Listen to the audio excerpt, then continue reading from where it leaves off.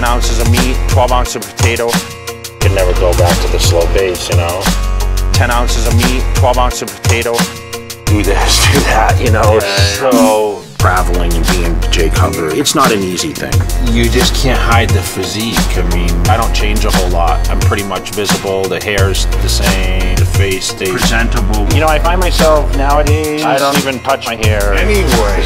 In the, the morning, I got, I got up, that's what my hair looks like, like, like, then I jump in the pool.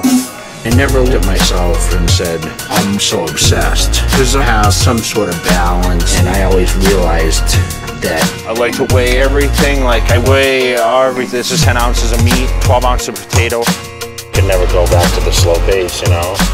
10 ounces of meat, 12 ounces of potato. Do this, do that, you know.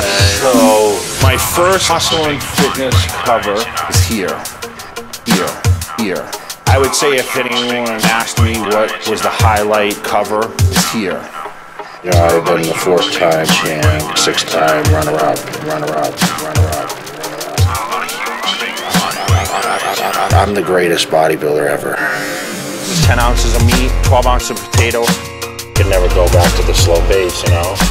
10 ounces of meat, 12 ounces of potato, Do this, do that, you know.